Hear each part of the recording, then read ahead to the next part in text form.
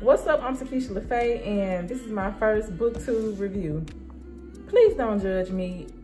Up until maybe like a month ago, I didn't even know that there was a such thing as a booktube. I knew about BookTok, but I didn't know about booktube. And it makes sense because that's where BookTok got their name from, but woo child. As I stated in my booktube introduction, one of these books was the book that started my 12 year hiatus from reading books.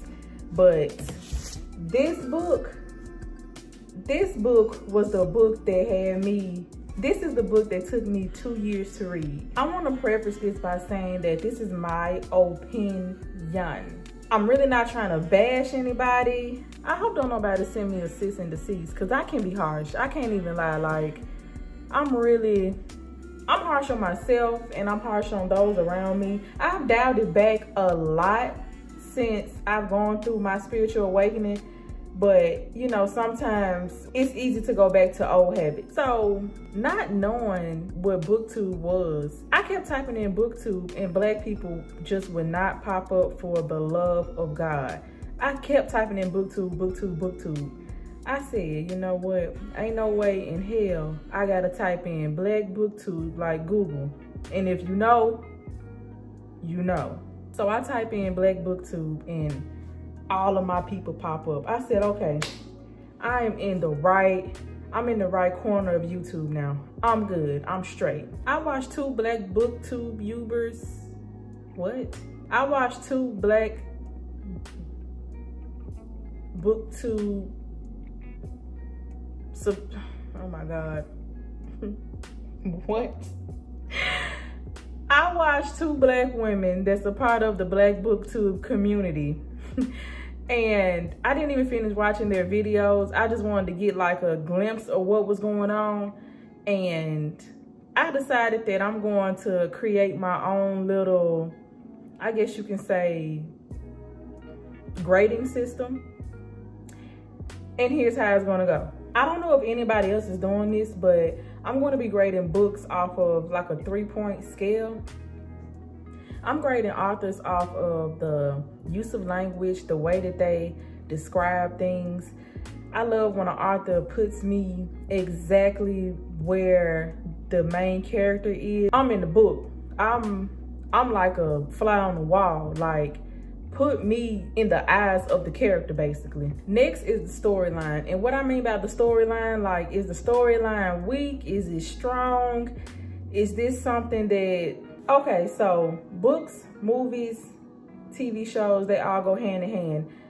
I don't like to watch nothing twice unless it's really, really good. So if I if I want to read your book twice, your book is really, really, really good. And I don't mind going through that process of my time again. I wanted to add that I love magical stuff as well. I just want to throw that out there that I love. Y'all go hear me say a lot that I love magical stuff, whether it's a TV show, movie, or book.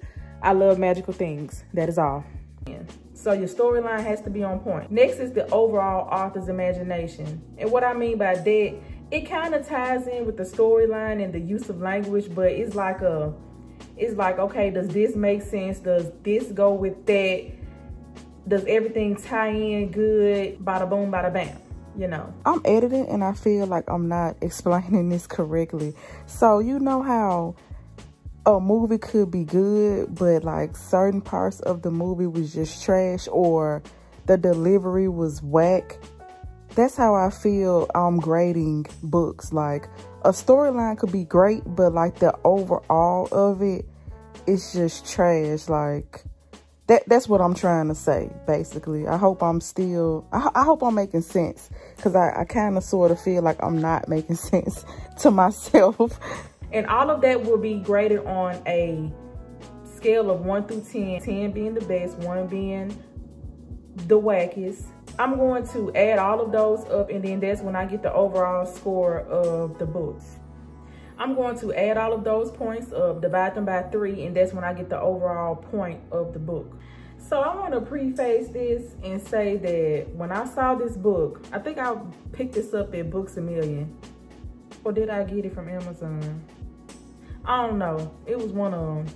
And you can tell I had this book for a while. I just been lugging it everywhere. Look at look at this. You can tell like that little part is real. I don't know if you can, yeah. Yeah. So I've had this book for a while. But anyway, let me tell y'all why I picked up this book. So I read the first sentence. I seen Mississippi and I seen a black woman. And I said, I'm gonna pick this book up because I'm from Mississippi and I'm a black woman. And she from Mississippi and she a black woman. So yeah, yeah. Um, we as people, we need to start, we need to start reading more because um, I probably wouldn't have picked this book up, to be honest. For starters, I'm 29. I don't want to read about teenagers having sex or teenage pregnancies. This book came out in 2011. If I would have read this book in 2011, this book would have been bomb because in 2011, I was still in high school. I think I was a junior or a senior, one of those. If I would have read this book in high school, this book would have been gold. But me reading it in big 2022, it doesn't give. It, it's, it's not giving, you know. The use of language, like the way that she, the way that Jesmyn Ward describes everything in this book, I feel like I can drive to wherever this is at in Mississippi and I know exactly where to go. Like I, I already feel like I'm from there. I know what a corner store is. I know where the neighbors at. I love how she describes every little thing. I'm talking about the way the branch crack, the way the wind whistles. If I wanted Jesmyn Ward to describe my life, I would call her. I would hit her up like, girl, please do. The way she describes things, 10 out of 10. Chef kiss. I can't take that away from her. I get a storyline of two out of 10 because I don't want to hear about a teenager having sex with her brother's best friends. And then she get pregnant and they just super poor. I didn't want to read about that. Like, I'm, I'm gonna say this. I'm over black trauma. I am over it. Can we do something new? And I understand it sells. But I'm, I'm gonna get into that. I'm gonna get into that later in this video. The author imagination, overall, two out of 10. Because I feel like this is great for 2011 because back then in 2011, you could come out with something super basic and it'll blow up. But after, I'm comparing everything to what happened to Monday. If you haven't watched what happened to Monday on Netflix, I don't know if it's still on Netflix because I don't even deal with Netflix anymore in big 2022. If you can't, if you if you ain't got a storyline like what happened to Monday, garbage. garbage, okay? Straight up garbage. Like I said, 2011, this book on point. But 2022, no, trash, um, no. I did like when she was flipping back and forth in the book. For example, when Skeetah Dog, which the, the dog name is China, when she killed one of her puppies at the same time while their dad was being ran over by a tractor by the oldest son I love how she was like flipping back and forth. Like each line was, it was going back and forth. Like one line was China got mad at her puppy and grabbed it by the neck and the dad was yelling at the son like, come on, come up a little. Cause they was trying to knock down a chicken coop in order to use those boards to board up the window in order to get ready for the storm. And I, I love that back and forth. I felt like I was watching a movie. Like every time I would stop reading the book, it felt like like I was watching a movie every single time. Every time I stop and come back, I'm like, oh, okay. Every time I would stop reading the book, I grab my phone or my iPad thinking I'm watching a movie, but I'm reading a book. So that was fun. So 10 plus 2 is 12, plus another 2 is 14. Divide that by 3, and that is 4.6. But I'm gonna have to give this book a three out of 10 because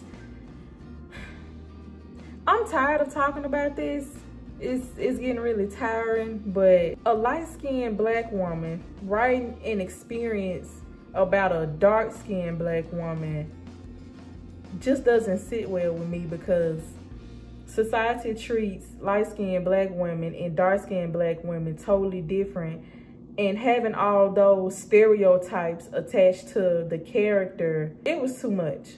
And I get it, black trauma sells, and black trauma sells even more when the characters are dark skinned. So yeah, um, Jesmyn Ward, Salvage the Bones, gets a three out of 10 for me.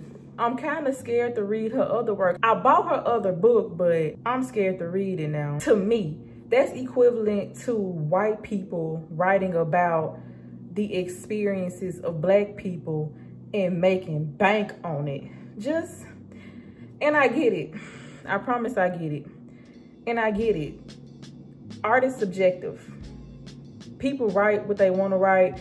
People feel what they want to feel, but we need to be more mindful of things because it just, it looks crazy. Crazy as hell. Like I said, I got Jesmyn Ward's other book called Where the Lines Bleeds and where the line bleeds.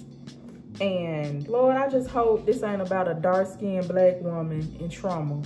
Because 10 times out of 10, when an author makes a lot of money with one type of way of writing, they're going to continue to keep writing like that. So, um, so yeah, Jesmyn Ward, Salvage the Bones gets three out of 10 for me. If y'all read this book, let me know what y'all think in the comments. And thanks for watching.